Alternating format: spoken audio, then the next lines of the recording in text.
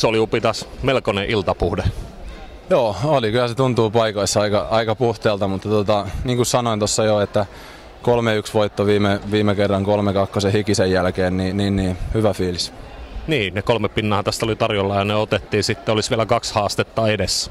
Juuri näin, ja tota, itse asiassa ihan hyvä alku tälle turnaukselle, että Moldova laittoi taas niin kuin kampoihin, että, että, että, se on aina vähän semmoinen kaksipiippunen juttu, että jos tästä ensimmäisen pelin niin kuin hoitelee tosta vaan, niin se voi olla sitten vähän vaikeampaa loppupeleissä. Näyttää, että itse nautit aika paljon lentopallosta tällä hetkellä. Joo, hyvältä tuntuu, paikat on, paikat on kunnossa ja, ja, ja tavaraa tulee, niin mikä siinä? Tuliko tavaraa sopiva määrä tänään?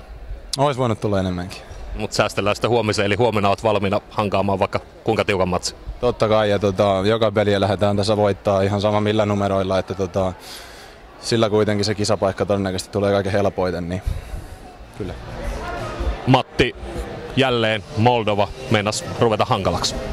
Joo, ei ollut helppo peli ja varsinkin ekassa edessä niillä onnistui kaikki, niin siihen piti vaan löytää omat aseet ja yrittää kääntää peliä. Että jos olisi vastustaja jatkanut samanlainen, niin sitten olisi ollut todella vaikea ilta.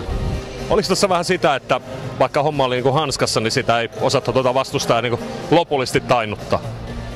Ehkä hivenen ja mä en tiedä, oliko mitään aliarviointia vastustajaa kohtaan, kun nähtiin, että ne pystyy pelaamaan kuitenkin hyvällä tasolla ja muuta, mutta jos se lähtee vähän löysästi käyntiin, niin hankala pelin aikana rakentaa sitten sitä peliä oikein kuntoon.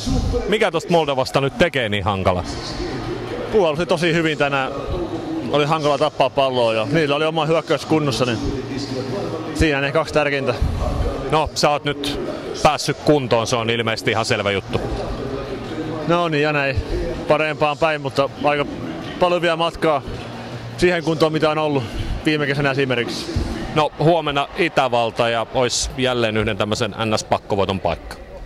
Joo kyllä, että ei tule olemaan helppo peli ja osaa pelata ja tiukkaa oli tuolla Portugalissa niitä vastaan, että eiköhän me se käännetä.